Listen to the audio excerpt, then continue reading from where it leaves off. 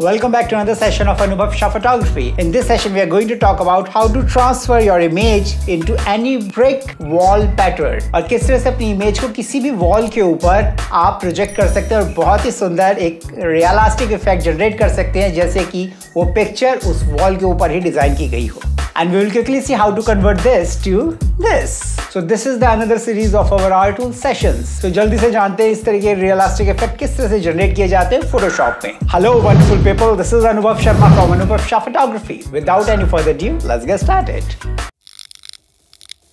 Make the streams louder.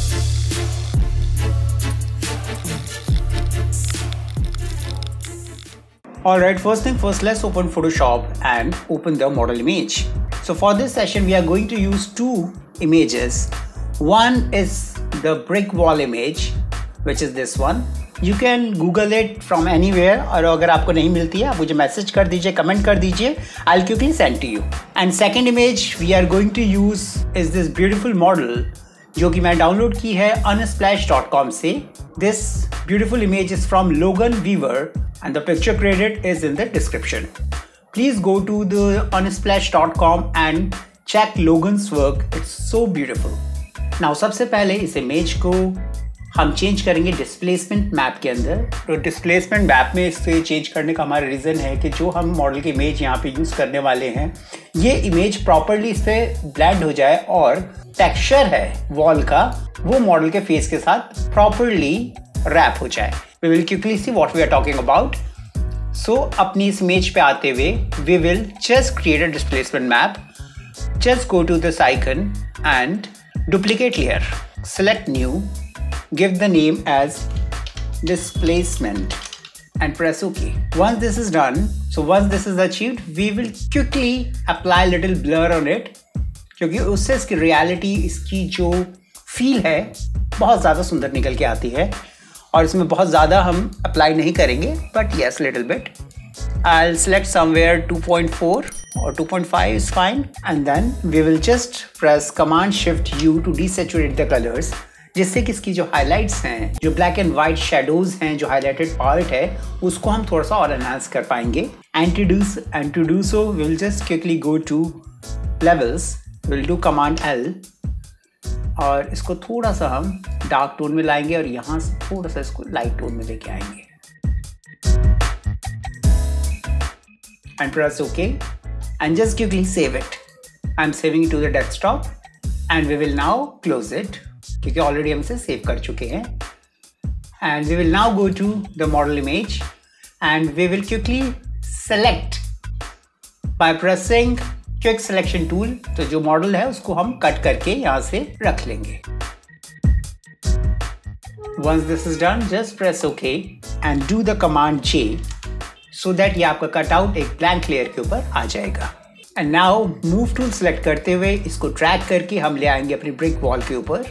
And by pressing command T हम इसको थोड़ा साइज़ को इनके मॉडल के एडजस्ट करेंगे as per our command zero to fit back to the screen and after that हम इस पर राइट क्लिक करते हुए we will just make it to the smart object इससे फ़ायदा ये होगा कि जो भी एक्शन हम करने वाले हैं, उसको नॉन डिस्ट्रक्टिवली हम कर सकते हैं।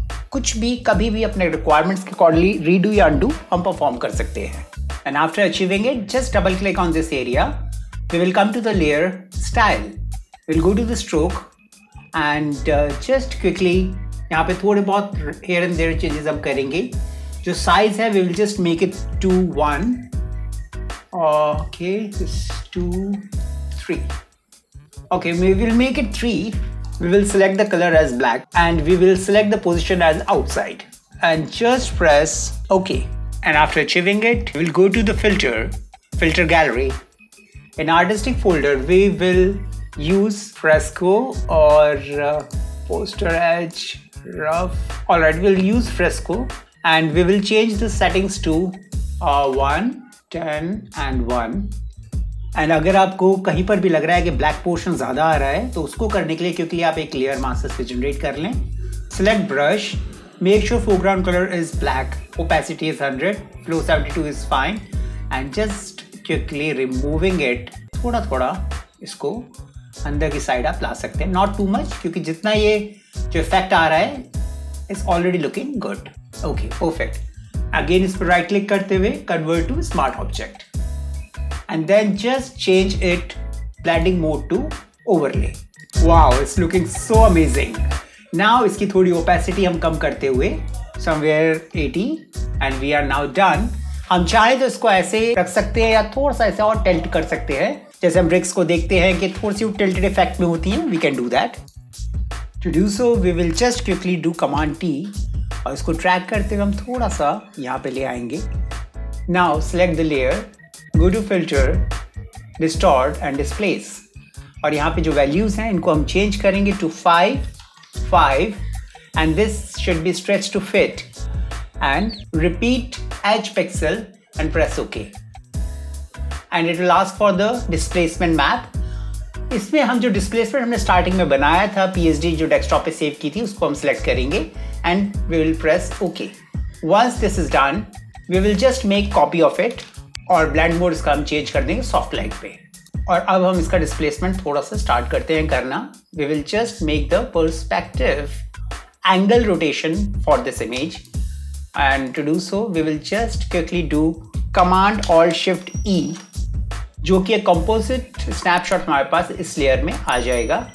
And then we will just disable all the layers underneath और इसको सेलेक्ट करते हुए we will and now we will start doing our transformation for this image. We'll select it, we'll go to edit, transform, and perspective.